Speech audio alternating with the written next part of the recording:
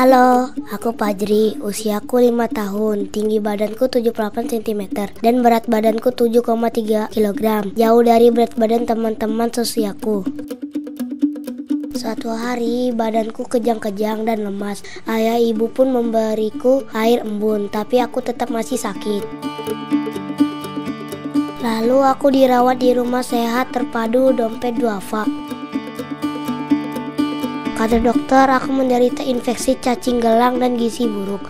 Ayah dan ibu tak tahu macam penyakit apa itu. Setelah dokter menjelaskan, ayah jadi sedih. Ia pun teringat saat kami hampir tiap hari harus makan nasi garam. Sekarang setelah dirawat, berat badanku sudah bertambah dan aku bisa berjalan lagi meski masih gemetaran. Ayah juga lebih memperhatikan makananku dengan memberiku lauk pauk. Katanya satu dari 20 anak di Indonesia menderita gizi buruk.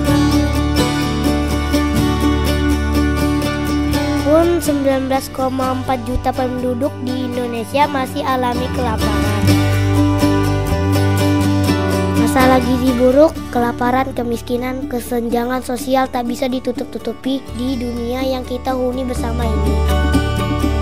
Negeri ini adalah rumah kita bersama. Jika saudara kita menderita, mengapa kita tidak lebih banyak bergerak? Mengapa tak jadikan negeri ini rumah yang nyaman untuk semua?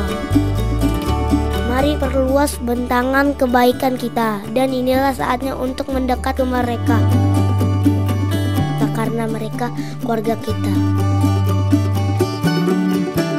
Salam humanis ya.